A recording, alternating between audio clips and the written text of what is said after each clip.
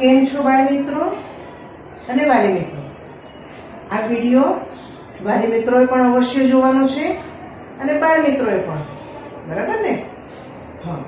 આ વિડીયોની અંદર હું તમને ડિક્ટેશન વિશે સમજ આપીશ કે તમે ડિક્ટેશન એટલે શું? અને ડિક્ટેશન કેવી રીતે લખાય? તો સૌથી પહેલા ડિક્ટેશન એટલે શું? આપણે જે મૂળાક્ષર ચાલી ગયા છે.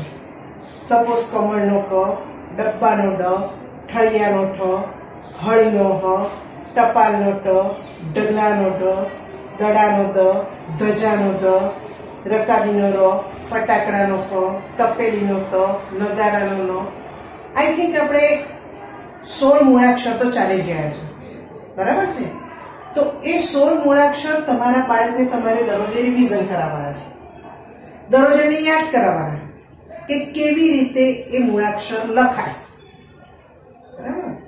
પછી આ વીડિયો તમે જ્યારે જુઓ છો ને, એ દિવસે તમારે ગૂગલ મીટની અંદર ચાર વાગે ગૂગલ મીટ આપણું જે આવે છે એમાં તમારા બધાની પાસે આવી પર્યાવરણની નોટ છે, જેમાં આપણે રંગ પૂરીએ છીએ. શું કરીએ છીએ? એમાં આપણે રંગ પૂરીએ છીએ. તો એમાં તમે પેજ ખોલશો ને, તો જોઈ લો. અહીંયા આવા ચોરસ ખાના દોર્યા છે અને રિવિઝન લખ્યું છે. એની સામે તમને આવી લીટીવાળા પેજ આપેલા છે. દેખાય છે બધાને? લીટીવાળા પેજ દેખાય છે, નોટ કઈ લેવાની છે, પર્યાવરણની. જેમાં આપણે રંગ પૂરીએ છીએ. એ પર્યાવરણની નોટની અંદર તમને છેલ્લે આવા ચોરસ ખાના જે દોરેલા છે. એની સામે જુઓ. લીટીવાળા પેજ દેખાય છે. છે? અહીંયાથી બધા જ તમને લીટીવાળા પેજ જોવા મળશે. છે? તો આ ખાનાની સામે જે પેજ છે, એ લીટીવાળા પેજની અંદર તમારે શું કરવાનું છે અહીંયા? તારીખ મારવાની છે. અને તારીખ માર્યા પછી આવી રીતે અહીંયા ગુજરાતી અને અહીંયા ગણિત લખી અને વચ્ચે ઊભી લીટી કરી દેવાની છે. જેવી મેડમે અહીંયા તમને કરીને બતાવી છે. અહીંયા લખ્યું છે મેડમે ગુજરાતી અને અહીંયા લખ્યું છે ગણિત. ગુજરાતીની નીચે એક લીટી છોડીને મેડમે આવું ફૂલ કર્યું છે. આ તમારું કારણ પણ શું છે? ખબર છે? તમારા બાળકોને અમે જ્યારે બોલીશું ને, ત્યારે હું એમ કહીશ કે ચલો, બધા આ ફૂલ મેડમે કર્યું છે ને, એની બાજુમાં પેન્સિલ મૂકો. એટલે તમારું બાળક અહીંયા પેન્સિલ મૂકશે. બાળકને આ સાઈન માટે છે. બાળકને સાઈન માટે આ ફૂલ દોર્યું છે મેં. જે તમારે પણ તમારી નોટની અંદર બાળકને આ રીતે આ પેજ તૈયાર કરી દીધું છે. આવું પેજ તમારે તૈયાર કરી દેવાનું છે અને ચાર વાગે તમારે ગૂગલ મેપમાં બાળકને નોટ, પેન્સિલ આપીને બેસાડી દેવાનું છે. રબડ આપશો નહીં. રબડ બિલકુલ આપશો નહીં. કારણ કે એ ખોટું લખશે અને એને ચેકવામાં ચેકવામાં એનો સમય પૂરો થઈ જશે. આપણે એક કલાકના સમય દરમિયાન વીસ મિનિટની અંદર હું ડિક્ટેશન પૂરું કરીશ. બરાબર છે? ચાલેલા મૂળાક્ષરનું આપણે રિવિઝન લઈશું. સમજી ગયા છો વાતે? ગુજરાતીમાં ચાલેલા મૂળાક્ષરનું રિવિઝન અને ગણિતની અંદર આપણે એકથી દસ અંક બરાબર બાળકને આવડી ગયા છે અને લખાવી દીધેલા છે.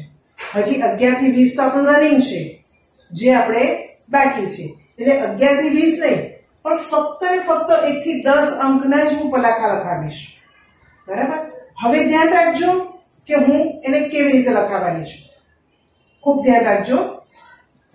મેડમ પહેલા શરૂઆતમાં એમ કહેશે કે ગુજરાતી આ જ્યાં ફૂલ કર્યું છે, ત્યાં બાજુમાં પેન્સિલ મૂકો અને ત્યાં. સૌથી પહેલા તમે શું લખવાનું છે એ બોલે છે મેડમ? લખો બધા ત્યાં ડ, ડબ્બાનો ડ. શું લખવાનું છે? ડબ્બાનો ડ. હવે હું જે બોલું છું, એ જ તમારા બાળકને અહીંયા લખવાનું છે. આજુબાજુમાં વાલી મિત્રો તમને એને હેલ્પ ન કરશો. ખૂબ પ્રામાણિક થઈ અને આ ટેસ્ટ આપવા દેજો. આ બહુ કંઈ મોટો ટેસ્ટ નથી. ફક્ત ને ફક્ત તમારા બાળકોની જ્ઞાન ચકાસણી છે કે એમને જેટલું ચાલી ગયું છે, એમાંથી એમને કેટલું યાદ છે. બરાબર? તમે એમને રિવિઝન આપ્યું હશે, તો એ બાળક લખવાનું છે.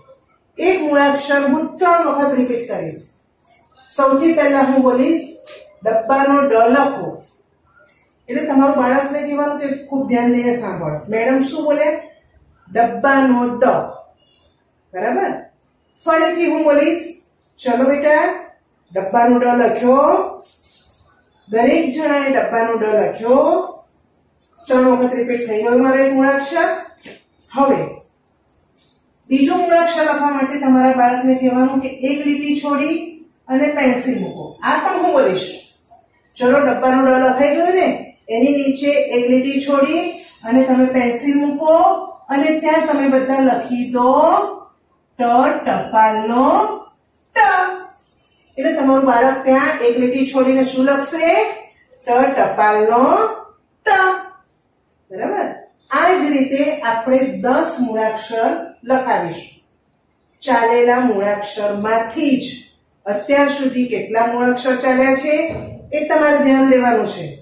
અને એ ચાલેલા મૂળાક્ષરમાંથી હું ગમે તે મૂળાક્ષર એને લખાવી શકું છું. એટલા માટે તમારે એમનું રિવિઝન કરવું ખૂબ જરૂરી છે. ધ્યાન દઈ દીધું બધાએ?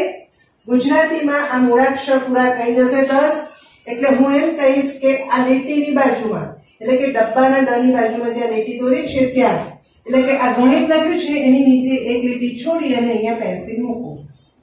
બરાબર? ત્યાં બધા લખો પાંચ ચડે પાંચ. તો તમારા બાળકને ખબર હોવી જોઈએ કે પાંચડે પાંચ કેવી રીતે લખાય છે? એ આપણે એમને શીખવાડ્યું હશે, સતત રિવિઝન આપ્યું હશે, તો એ સમજી શકે કે પાંચડે પાંચ આ રીતે લખાય. બરાબર? પાંચડે પાંચ લખાઈ ગયું, એની નીચે એક લીટી છોડો અને લખો બધા તગડે ત્રણ. તો બાળકને તગડ ત્રણ કેવી રીતે થાય? એ પણ ખબર હોવી જોઈએ. બરાબર? તો આ રીતે આપણે ગુજરાતીમાં અને ગણિતમાં બંને વિષયનું ડિક્ટેશન લઈશું. વીડિયો પહેલા ધ્યાન દઈને જોજો, બાળકને સમજાવજો. હજી તમને હું એક અઠવાડિયાનો સમય આપું છું. આવતા અઠવાડિયામાં હું ગમે ત્યારે આ ડિક્ટેશન લઈશ. મારા પ્લાનિંગમાં જ્યારે આવતું હશે એ પ્રમાણે. એટલે તમારે જ્યારે વીડિયો આવે ત્યારે બાળકને બતાવવાનો છે. એ સમય દરમિયાન તમારી પાસે એક અઠવાડિયાનો સમય છે. તમે એમને સતત રિવિઝન આપજો. જેટલા મૂળાક્ષર ચાલ્યા છે સતત બતાવતા રહેજો, લખાવતા રહેજો, એકથી દસના અંકને પણ ઓળખાવજો અને લખાવજો. આ પ્રેક્ટિસ આપતા રહેજો, ડિક્ટેશન જે દિવસે લેવાનું હશે, એ દિવસે આપણે ફરીથી મળીશું. ઓકે? ચાલો ત્યારે, બાય.